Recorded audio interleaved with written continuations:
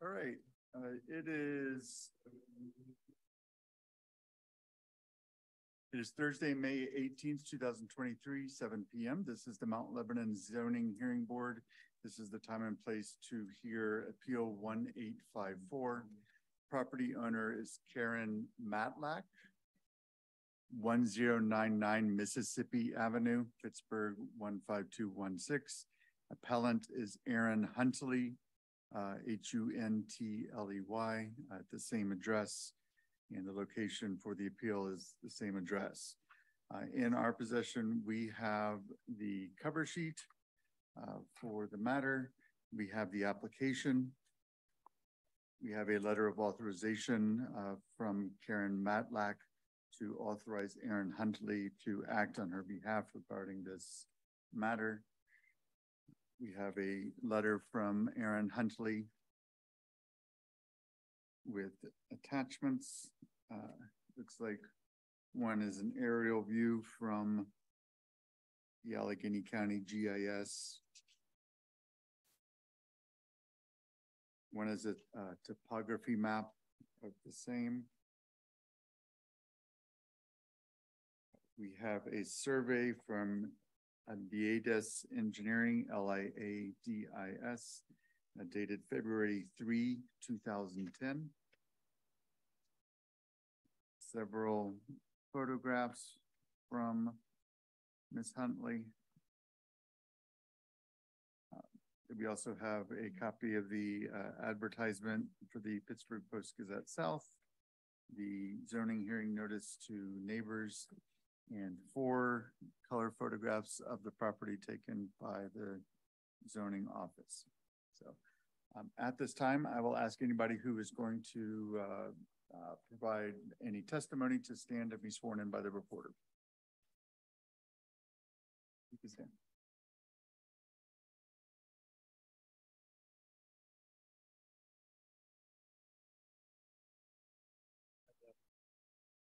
Thank you. All right. Uh, I'll invite you forward to uh, to present your case. If you can identify yourself, please. Um, hello, my name is Erin Huntley. Um, I reside at ten ninety-nine Mississippi Avenue in a multi-generational home with my mother, my daughter, and my fiance. Um, I am asking for relief of ordinance numbers two oh three point five point three, which requires a thirty-five foot setback, and eight oh eight point three point one, which does not allow a fence in a front yard. As you can see from figure one in my zoning, um, hearing application, my home is bordered by Mississippi Avenue to the east and Comma Alley to the north. Um, Comma Alley also coincides with the Borough of Dormont municipal line. I would like to erect a picket fence in the northern portion of my property along Comma Alley. As per the ordinance, my home has two front yards and erection of a fence as proposed is prohibited. Due to the location of my home on the parcel, very little outdoor space is available to the south and west um, as shown in figure two, as well as photographs number one and two, the topography of my parcel is quite steep to the south and west. Erection of a fence in accordance with the code as shown in figure three allows for very little usable green space within the fenced area due to the topography and will place the fence immediately adjacent to my neighbor's home. The proposed fence layout, however, present, presented in my permit application does not infringe upon the front yard along Mississippi Avenue, is more aesthetic, allows for significantly more usable space, does not, is not located immediately adjacent to my neighbor's home, and does not alter the essential character of my neighborhood. Um, I'm not sure if I could present this at this time, but I do have some photographs of some other homes um, in the neighborhood that do have been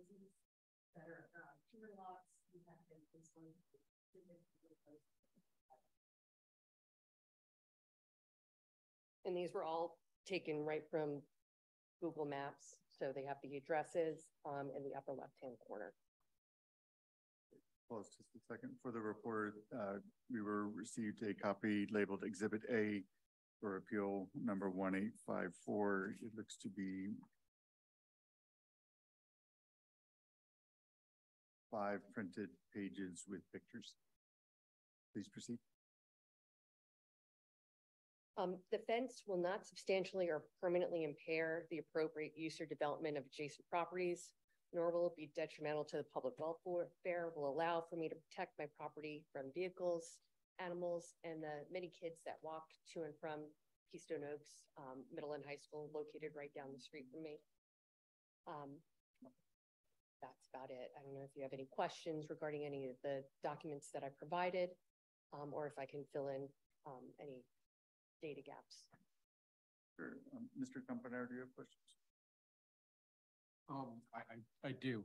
Um, the fences shown in, uh, that you gave us in these photographs, are there any along, actually along Comma Avenue itself? Do you know, that you know? Um, there are, um, but there actually, there's no other homes in Mount Lebanon along Okay. Common Alley. It's all Dormont. Um, but there is a fence, um, I believe it's two houses down from us along Common Alley with a, it's a six foot high privacy fence. Okay.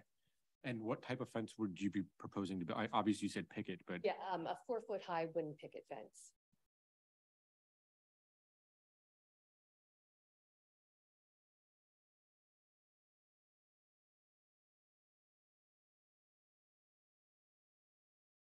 why, why, I guess, when I look at. Primarily for my dog. Okay. Um, you know, if we were in a more secluded area, an invisible fence would be a great alternative, and I have used an in- invisible fence in the past. Um, my past dog was attacked on three different occasions in our yard, um, from other dogs just getting in there. Um, and also, I mean, it's just a deterrent. There's lots of activity in the area. Um, so once they break through that fence, they're, they're gone. What, what led to the size of fence, your location? So you're, you're showing it five feet from comma alley? Or why not Um, right on the property? Why, why not right on the road or ten feet back or what's, why it's five feet? to avoid it being hit by vehicles. Okay. Um, and provide better line of sight.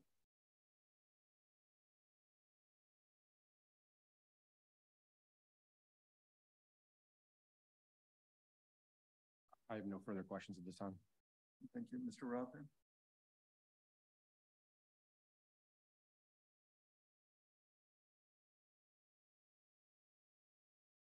Do you, do you know about how much traffic or how heavily used is Coma Alley?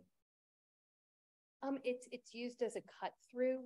Um, a lot of people don't want to go down to the very end of Mississippi to turn around. So they'll use that to access, um, and get back up to West Liberty. Um, I don't have a number of how many vehicles per day. So would you characterize that as, as, as busy or seldomly used or kind of moderate? I, I would assume moderate. Um, it's more often used if they have, um, like soccer practice down at Kelton Field. And is the intersection of Coma and Mississippi, are there stop signs there? No. Nor is it labeled.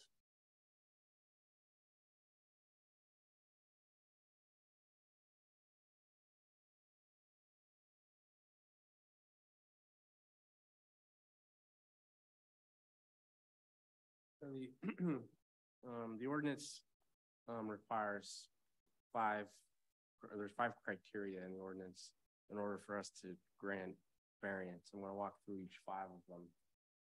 Um, the first one states that, that there are unique physical circumstances or conditions, including irregularity, narrowness, or shallowness of the lot size or shape, or exceptional topographical or other physical conditions peculiar to the particular property, and that the unnecessary hardship is due to such condition and not the circumstances or conditions generally created by the provisions of the zoning ordinance in the neighborhood or district which the property is located. Um, could you explain how you feel you meet that criteria? On the, the western and southern portion of my property, um, that area I could fence in as per the ordinance, however, it drops off quite steeply.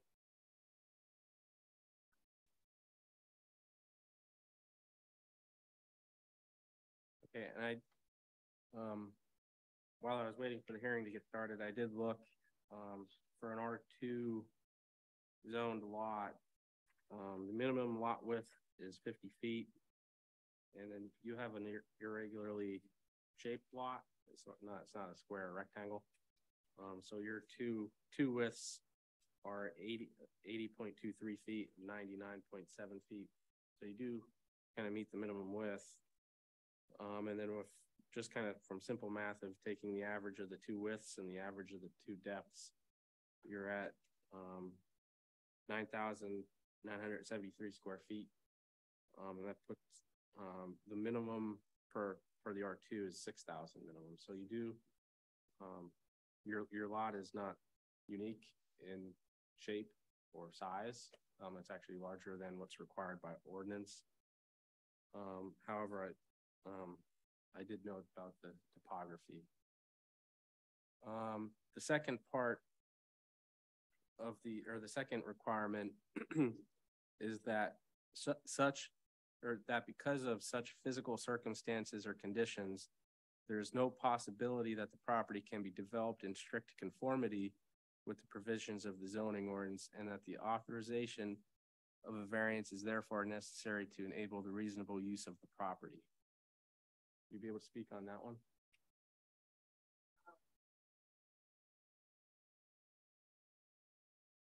So with the, the current setup, um, it just would not be economically feasible to put in a fence, um, like, to maximize the, the area. Um, I would not be able to achieve what I would like to do with my property. Would you be able to utilize, could you utilize your property um, without a fence?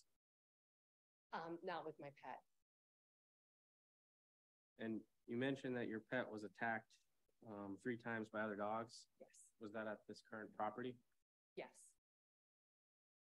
Um, how long have you um, resided or owned the property?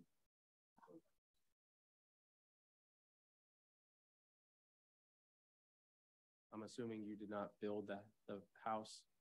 Correct. I can interrupt and ma'am, you owned it prior or still own the property? I'm sorry. My apologies. You owned the property previous to two thousand ten? No. No, 2000 2010 is when you purchased it. Okay. Right, thank you. Sorry to interrupt.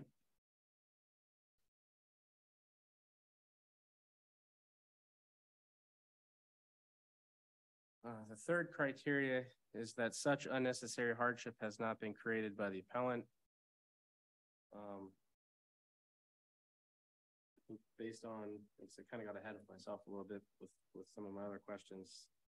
Um, but you did not build the house, you purchased it as is. Um, I guess, do you know, um, approximately the age of the house when it was built Um, approximately? it was, it was one of the first houses in the neighborhood. I believe it was constructed circa nineteen twenty.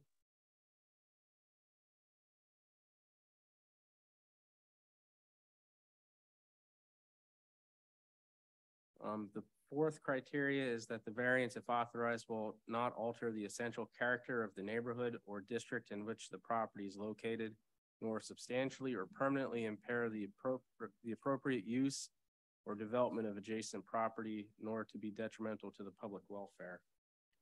Um, did you talk to any of your neighbors about your proposed plan? Um, I did. Um, I spoke to, um, my neighbor, um, across the alleyway, um, Marianne Kunold. She was perfectly happy with us putting in a fence.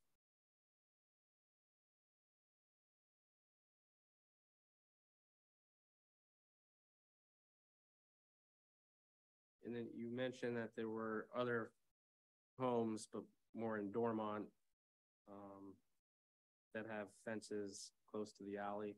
Correct. Are there any of those homes on the same side of the alley that you are on? Uh, no, there aren't any other homes, um, along that side of the alley. Um, it opens up into Kelton Field, which was, uh, the- the old Dormont Elementary School you can see that um, on figure, figure two shows that.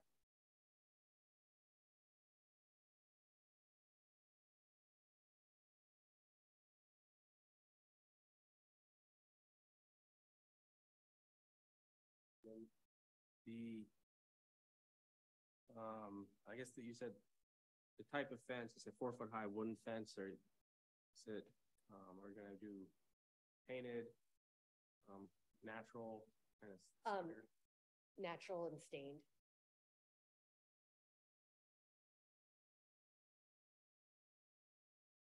The last criteria, the fifth one is that the variance, if authorized, will represent the minimum variance that will afford relief and will represent the least modification possible um, of the regulation in issue. Uh, So can you explain on um, how you, I guess, came about the footprint that you're requesting and how, how that meets that criteria that it's the minimum necessary to achieve your intended use? Um, the, the defense as shown, I was trying to maximize the use of my property for open area, um, so my, my pet could run. Um,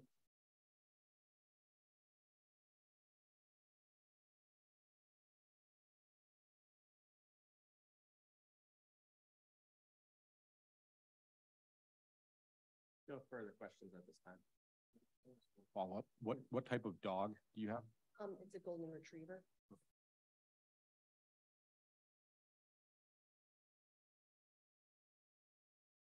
So Can you describe the topography in the back? You said it's steep, like, can you just go into more detail what, what that means?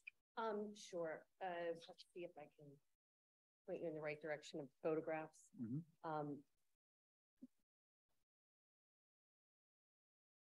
So if you look at photograph number two, that shows the drop off from my driveway, um, which grades into the, the Keystone Oaks property. Um. We also have to fight with the knotweed along that slope, which is the bane of my existence. Um, but it drops, it's, it's quite steep. Um, you definitely have to have very, um, sure footage, um, when you're walking down that slope. And there's, you say, it says K O S D fence, so there's a fence of some sort by the school district. Yes, and that fence actually hasn't been maintained. That fence location representative of property line? No, I believe it's a few feet, um, back of the property line.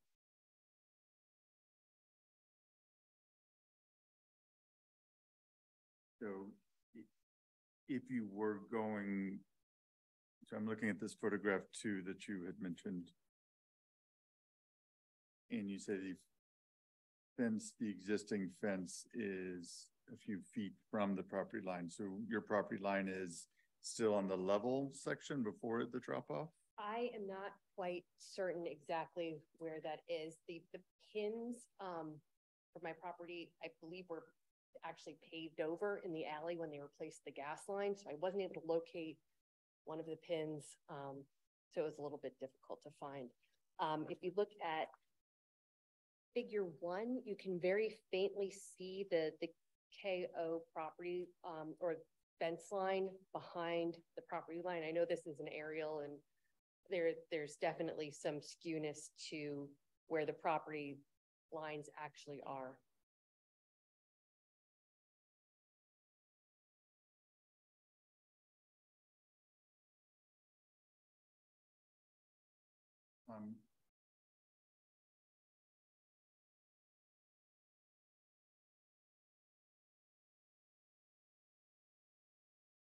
Apologies, my, uh, reviewing my notes to see what my question.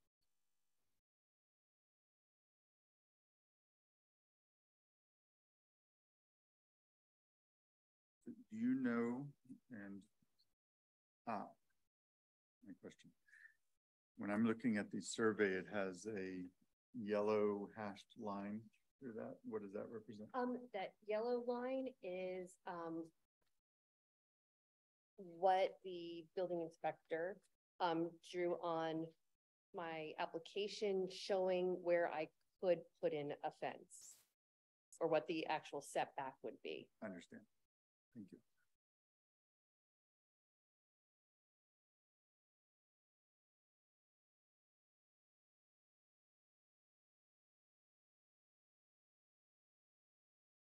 I I have no further questions. Mr. Campanaro, do you have additional? I do not have any further questions. Not necessarily. Thank you. Um, you can sit, we're gonna chat with the uh, inspector for a bit. so. Right. Uh, Mr. Sarver, if you will state the position of the inspection office. Uh, the municipality's position is that, I believe in January, January thirtieth, they applied for a fence permit. Uh, and they submitted, um, a marked up survey that you have, which shows the, the survey and the red markings with the X's showing the proposed location, um, of that. And then I followed up with a review comment, uh, March 9th, I'm sorry, Yes, March 9th. Um, I responded basically advising them that I could not issue the permit. Um, for the reason that the proposed fencing was in the front yard in accordance with the ordinance. And advised them of the particular section that was in violation. Uh, I then had some correspondence back and forth. And as just mentioned, I scanned over a copy of the survey that they submitted showing the, the red fencing lo- proposed location. And I drew on in blue, uh, the existing building lines or the front setback lines. Uh, and then highlighted those on both sides, so those along Mississippi Avenue and Coma Alley. And then you can see, uh, along Coma Alley, uh, I put some notes up top, says thirty-five feet front yard, per section two oh three point five point three, point one, point one, point one of the zoning ordinance. And then the front yard along, or the building line along Mississippi Avenue is established by the existing front face of the house. As you can see, based on that survey, the house next door, the building line jumps back to thirty-five feet along that, that side. So this house is in front of the other houses uh, down Mississippi. Um, so, um, I advised them that if they wanted to change the location, I could reissue the permit or issue a permit. Um, and then they chose to, uh, apply for the variance. Mhm. So, um, as you mentioned, with the submittals, there was some photographs, um, the main reason for this needed variance would be the fact that corner lots have two front yards. By definition in the zoning ordinance, each yard fronting along each street is considered a front yard. Uh, what determines the depth of the front yard is that building line setback that I had marked on there. Um, as far as the exhibit A that was submitted, um, if you look at the very first one, uh, that says Scott Road on it, that is not a corner lot even though it looks like a corner lot. Uh, there's a strip of land in there between Scott Road and that fence. So that is not technically a corner lot because they have, that house has no frontage along Scott Road because there's a thin sliver of land between there. Um, the second page, I don't know where those are at and I can't see any fencing in those photographs.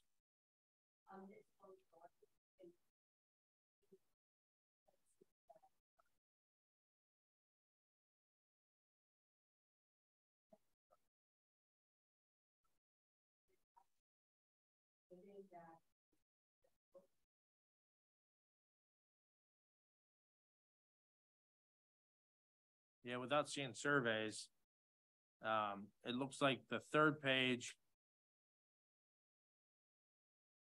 I don't, I'm not familiar with that top photo. Looks like the bottom photo butts up against a garage. So the garage would establish that building line. Therefore, it's probably behind the building line and not in the front yard. So just, just for the record, there are multiple building lines based on different recorded plans, based on different setbacks. Um, so some might go as little as five feet, some go ten feet, some go twenty. Um, but where there is none shown, it's thirty-five feet per the ordinance. Um, so some of these may be, I, I just don't know. Um, the fourth page, I don't know what those are. And I know the last one, that is behind the building line as well. That's on the corner of Catalpa and Richland.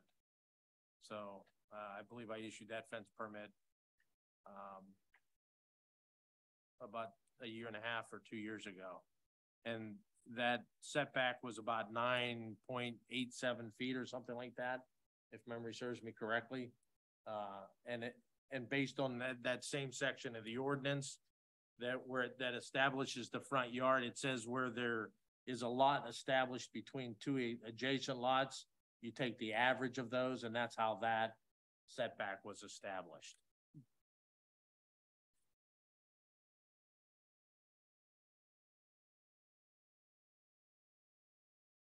Uh, I have nothing further to add if unless anybody has any questions. Did the, uh, commission have any, No comment from them. any comment? Very good. Um, Mr. Compner, do you have questions? I, I do not at this time. And Mr. Rother? Uh, yes, I do. Um, Coma Alley, does, uh, is that owned by Mount Lebanon or Dormont? No, it's the, the line, as you can see on the survey, the line is right along the property line. So that's, that alley is actually in Dormont. And I think if you go on Google, I think it's called something different, correct? Um, it, Del, but Del looks like the actual, like, street. Okay. that's, on the other side. Yeah, so at some point in time, either it just got established that name or probably Dormont changed the physical name of it. But probably on the recorded plan, it's called Coma Alley. Are you aware of any, um, any utilities, subsurface utilities or overhead utilities down Coma Ave or Coma Alley? Uh, in the alley, no, because again, that would be in Dormont. Um, I can see. Um. No, it looks like the, the sanitary's out front along Mississippi. For this house. I would assume. Because there actually is no sewer coming up to this lot. So whether there's a lateral that goes across the street along Mississippi, I don't know. But we are showing no municipal uh, facilities near there.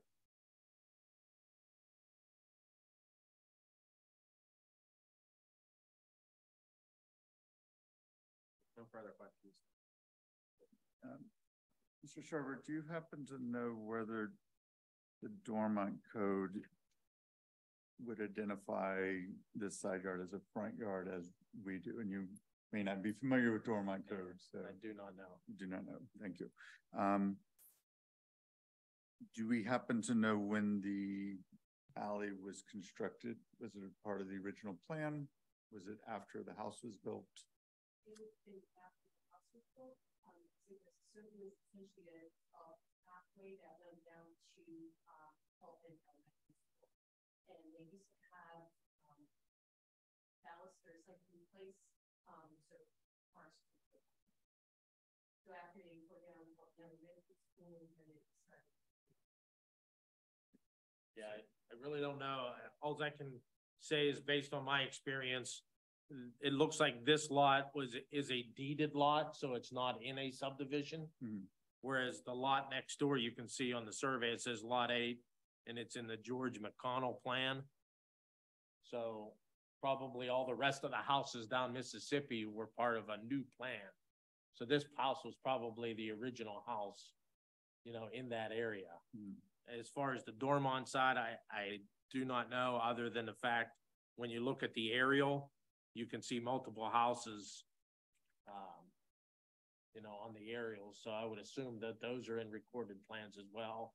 And I would assume maybe that's how Coma Alley got established, uh, because it's in Dormont, so I would assume that that's part of of the recorded plan that's in Dormont.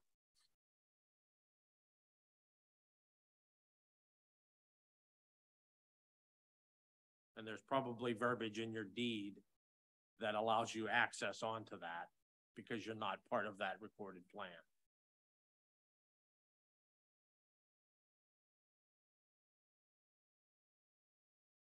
For ordinance, um, when we identify what a corner lot is, um, it does not matter what type of street is. It doesn't matter whether it's a paper street or an alley or a full street. There's no preference or no- there's no distinguishing within the ordinance. Um, no, but to answer your question more clearly, if I could just read it, it says front yard. Um, it gives the definition, basically an open space extending the full width of the lot between the front, I'm sorry, between a main front building line and the front lot line, unoccupied and unobstructed by buildings or structures from the ground upward, the depth of which shall be the least distance between the front lot line and the front of the main front building line. Period. On corner lots, the front yard shall be both yards that front on the streets, period. In the case uh, of uses with parcels with, a- without a principal building, uh, the front yard shall be a line drawn parallel to the front lot line, a distance equal to the depth of the required front yard setback. And then when you go to definition of street, uh, because it refers to yards along both streets. The definition of a street is includes a street, comma, alley, comma, boulevard, comma, road, comma, highway, comma, freeway, comma, parkway, comma, alley, lane, viaduct, and any other way used or intended to be used by vehicular traffic or pedestrians, whether public or private. Thank you. Wait, can you say that again? By used by traffic?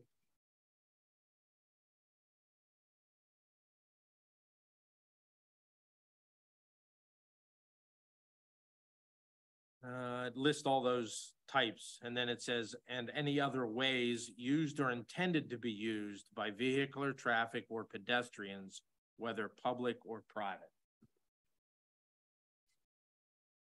There's no distinction of if it's not a Mount Lebanon street. Now,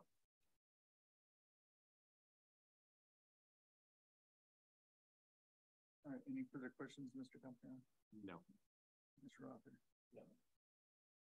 Um, I have no further questions as well, so we are going to enter executive session, we'll discuss your matter, and we'll come back out.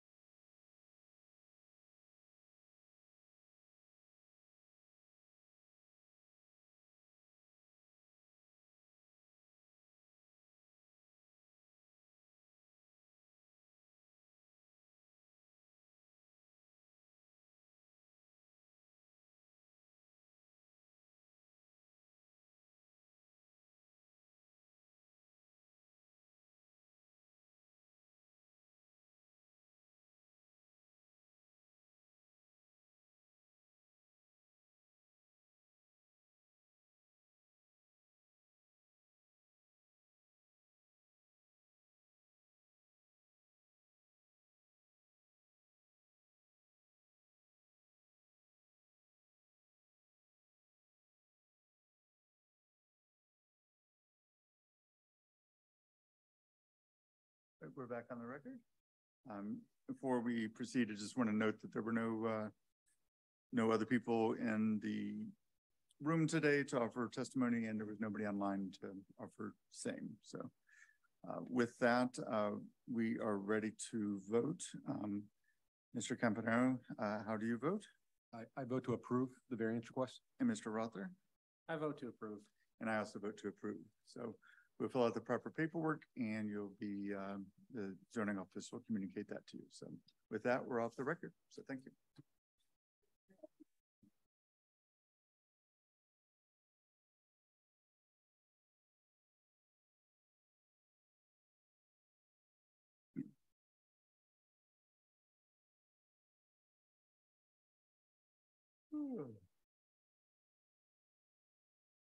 Those crazy door launchers.